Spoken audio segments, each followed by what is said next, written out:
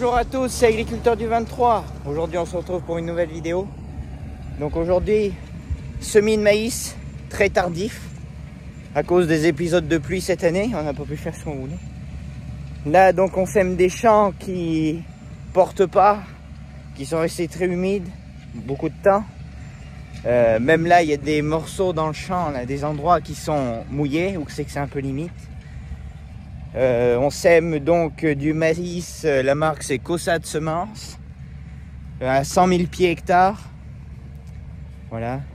L'équipement, donc c'est un monosème 4 ans, avec devant un Newland T5040. Voilà. Donc aujourd'hui on en fait une dizaine d'hectares. Donc là je vous filme ce champ-là. Voilà. Bon visionnage à tous.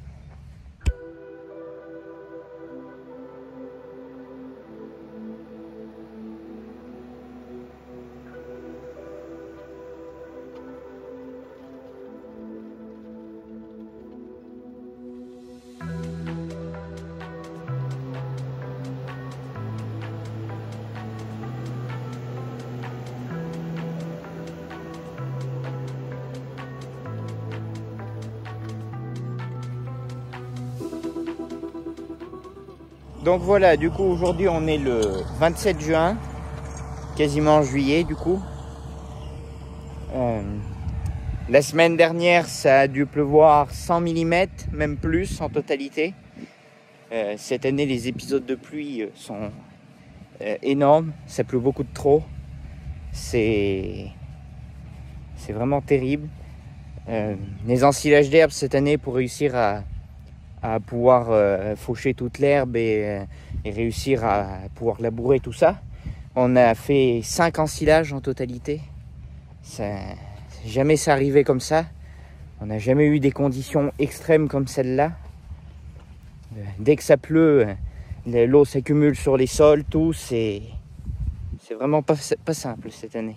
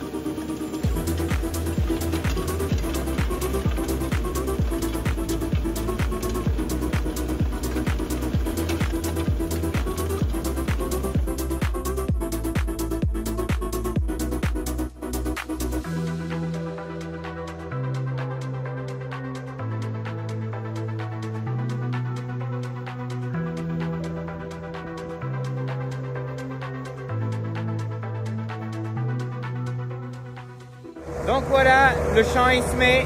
Merci à tous d'avoir regardé cette vidéo. Si ce contenu te plaît, mets un pouce bleu, partage à tes amis, abonne-toi surtout.